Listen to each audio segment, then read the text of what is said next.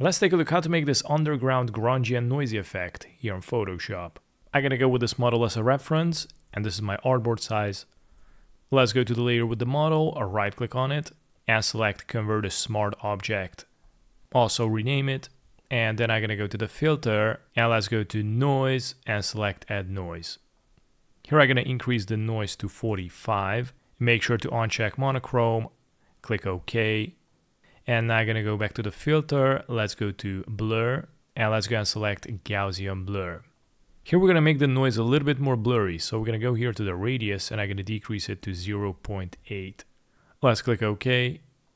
Then let's go to the filter, filter gallery. Here we're gonna need to open up the sketch and let's select the torn edges.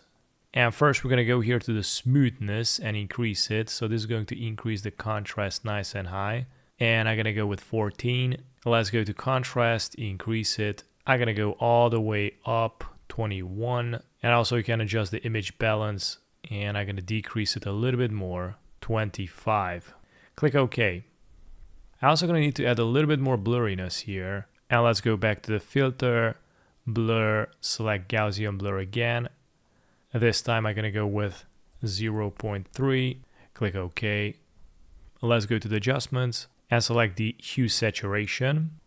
Here we're going to go to the lightness and I'm going to decrease it to minus 25. Now let's go down here to the adjustments and here you can select the solid color.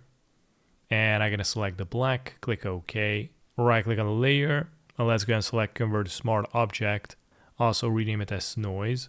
And let's go to the filter again, noise, add noise, and here make sure to select monochrome. It's going to be on 45. Click OK. And let's go to blend mode. And here we're going to need to change it to screen. And that's how I make this underground grainy grungy effect here in Photoshop. Thanks for watching.